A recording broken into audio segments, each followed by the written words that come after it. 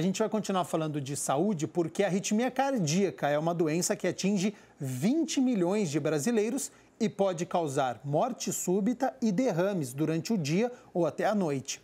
E pode aparecer quando nós estamos ao lado de quem amamos ou quando estamos preocupados, durante um teste ou uma atividade física. Então, confira atentamente as dicas deste especialista.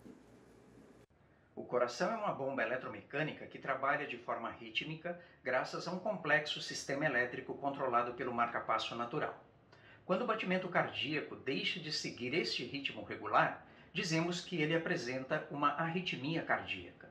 As arritmias podem ser simples e de baixo risco ou complexas, podendo levar até a morte do paciente.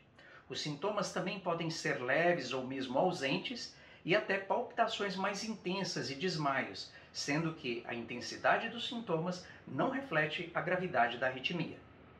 Algumas arritmias existem desde o nascimento da pessoa, mas a maioria delas aparecem durante a vida do indivíduo, como complicações de infecções, da falta de cuidados básicos em decorrência de um infarto, entre outros.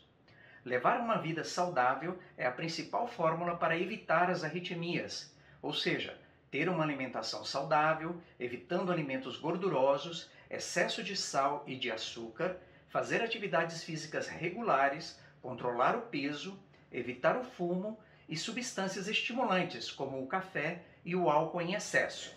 Também controlar adequadamente a pressão arterial, reduzir o estresse na medida do possível e fazer um acompanhamento cardiológico pelo menos uma vez ao ano.